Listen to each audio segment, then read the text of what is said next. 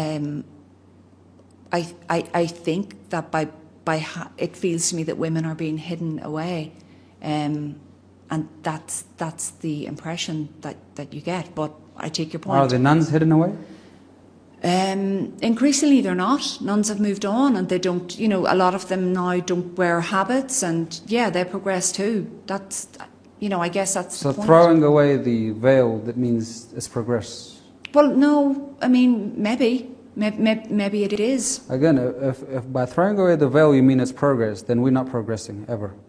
If by progress you mean scientific, social, economic development, we, will, we have progressed, we're actually the pioneers in, in those fields. I, I think, again, I, I don't want to labour this point, but I think throwing away the veil, it's not about progression, it's about choice. It's about having the choice to do something, and that does seem to be denied people here. Does the Western society give people the choice to walk around naked? Without any clothes?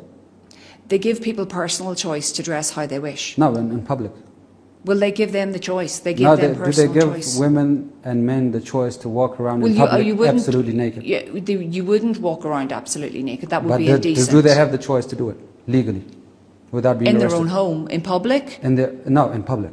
In public, no, they wouldn't. That would be indecent. But they do have the choice to wear what they want. And that is what we're saying. In their private homes, they can wear whatever they want. But in public, they have to have uh, modesty With a, a burqa, with a veil. Yes. with a veil. Okay.